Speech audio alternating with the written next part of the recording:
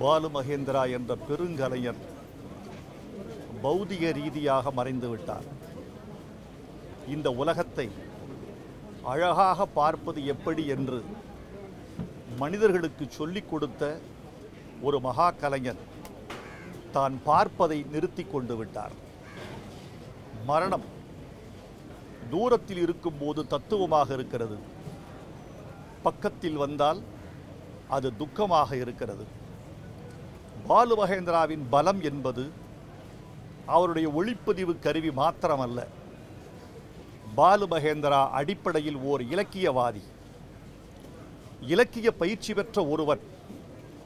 கலைப்படைப்பை எவ்வளவு அழகாக கையாள முடியும் என்பதற்கு பாலு மகேந்திரா தான் எடுத்துக்காட்டு. அவரோடு நான் மூன்றாம் பிறை. இன்னும் நீங்கள் கேட்டவை உன் கண்ணில் நீர் வழிந்தால் போன்ற பல படங்களுக்கு பணியாற்றியிருக்கிறேன் இந்த நேரத்தில் பாலு மகேந்திராவுக்கும் எனக்கும் பிடித்த ஒரு பாடல்தான் பொருத்தமாக இருக்கிறது என்று நான் கண்கலங்க நினைக்கிறேன். அவர் கேட்டு நான் எழுதி கொடுத்த பாடல் கனவு காணும் வாழ்க்கையாவும் கலைந்து போகும் கோலங்கள். துடுப்பு கூட பாரம் என்று கரையை தேடும் ஓடங்கள் என்று ஒரு பாட்டு. அந்த பாடலை கேட்கிற பொழுதெல்லாம் பாலு மகேந்திராவின் கலைத்திறமை என் கண்ணுக்கு வரும். இனிமேல் அந்த பாடலை பார்க்கிற போதெல்லாம் அவருடைய நினைவுகள் மட்டுமே எனக்கு மேலோங்கி நிற்கும். பாலு மகேந்திரா விட்டுச் சென்ற எச்சங்கள் மிக முக்கியமானவை. எல்லோருக்கும் மரணம் ஒரு நாள் வரும். மரணம் என்பது ஏற்றுக்கொள்ளப்பட வேண்டிய ஒரு விளைவு.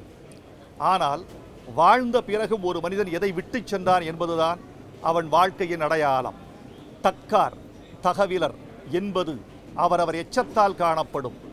எச்சங்கள் என்பவை அவருடைய படைப்புகள் மட்டுமல்ல நல்ல இளைய இயக்குனர்களை தமிழ்நாட்டுக்கு விட்டு சென்றிருக்கிறார் பாலு மகேந்திரா பாலா வெற்றிமாறன் சீனு ராமசாமி சுசீந்திரன் இன்னும் பல இயக்குனர்கள் பாலு மகேந்திராவின் பட்டறையில் கூறு செய்யப்பட்ட வாள்கள். அவர்கள் பாலு மகேந்திராவின் பெருமையை போற்றி பாதுகாப்பார்கள். அந்த வரிசையில் நானும் அவர்களோடு நிற்பேன். வாழ்க பாலு மகேந்திராவின் புகழ் வெல்க அவரதம் எச்சம்.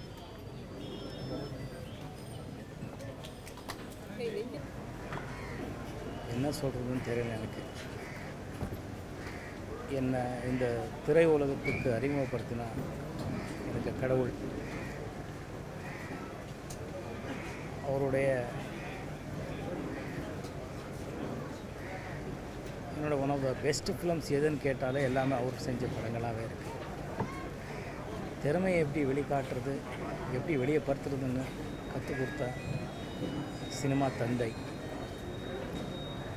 அவர் படங்கள் இப்போ இல்லை. எப்போ பண்ண படமும் எப்போவுமே ஃப்ரெஷ்ஷாக இருக்குங்கிறது அவரோட திறமைக்கு ஒத்தாச்சு. அவரோட கோக்கிலாங்கிறது கமல் சார் நடித்து நானும் அதில் அறிமுகமானேன். அந்த படம் இன்றைக்கி புதுசாக இருக்குது அந்த மாதிரி ஒவ்வொரு படமும் பார்த்திங்கன்னா இன்றைக்கி போர் அடிக்காத அளவுக்கு ஒரு ஃப்ரெஷ்னஸ் இருக்கிற ஒரு படம் எடுத்துக்கூடிய ஒரு டிரெக்டர் ஃபோட்டோகிராஃபர்னா பாலு சார் தான்.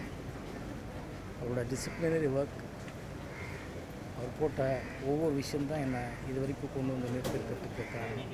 ஆனால் நான் இது அவரை பற்றி இந்த மாதிரி ஒரு நிலைமையில் பேசுவேன் நான் நினைக்கவே இல்லை.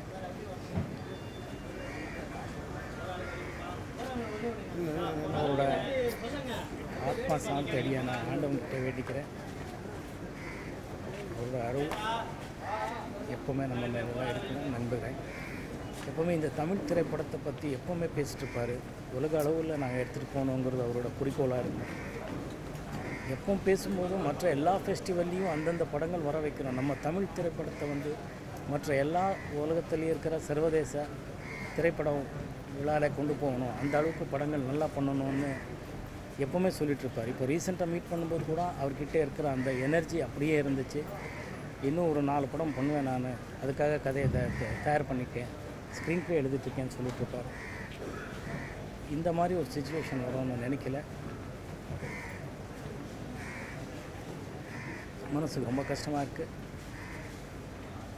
என்னோட சினிமா தந்தையை நான் வந்து இழந்திருக்கேன் my friend my philosopher my guide my guru my everything எனக்கு வாழ்வு கொடுத்தது ஸ்ரீ பாலு மகேந்திரா சார் தான்.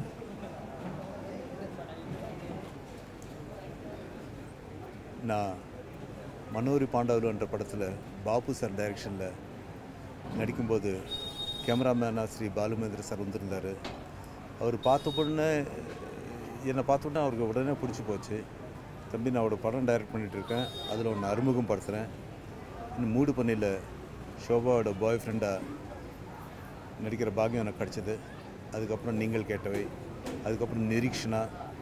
தெலுங்கில் பெரிய பெரிய மேசிவ் ஹிட் அது. அதுக்கப்புறம் வீடு. அதுக்கப்புறம் அவர் டைரக்ட் பண்ணுறது பார்த்து நானே ரெண்டு படம் டைரக்ட் பண்ணிட்டேன்.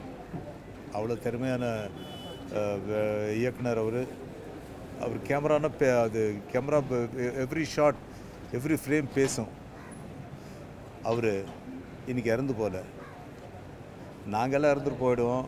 ஜனங்க மறந்துடுவாங்க பட் பாலு சாரை நானோ இல்லை இண்டஸ்ட்ரியோ இந்த ஃபிலிம் இண்டஸ்ட்ரி உயிரோடு இருக்கிறதுலும் பாலு பாலு சார் எப்பவுமே சிரிச்சுக்கிட்டு உயிரோடவே இருப்பார்.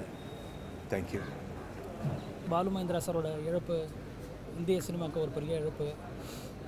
நாங்களாம் வந்து ஃபோட்டோகிராஃபியில் ரியலிஸ்டிக் ஃபோட்டோகிராஃபின்னு கற்றுக்கிட்டதே பாலு மகேந்திரா சாரை பார்த்து தான் அவர் வந்து he can be called as I mean father of Indian சினிமாட்டோகிராஃபர்னு சொல்லலாம். ஏன்னா இன்றைக்கி எல்லாருமே இந்த ரியலிஸ்டிக் ஃபோட்டோகிராஃபி பண்ணுறதுக்கே காரணம் வந்து பாலுமேந்திரா சார் தான். அவரோட ஸ்டைல் ஆஃப் அப்ரோச்சு ஒரு கேமராமேனுக்குள்ளே இருக்கிற ஒரு டைரக்டர் ஸோ பேசவே முடியல எனக்கு because I'm very big fan of Balu Mahendra sir. எனக்கு ஒரு ஜஸ்ட் ஒரு ஃபோர் டேஸ் பேக் கூட அவரோட நான் பேசிகிட்டு இருந்தேன் டெலிஃபோனில் அன்ஃபார்ச்சுனேட்லி கேள்விப்பட்டப்போ ரொம்ப இதாக இருக்குது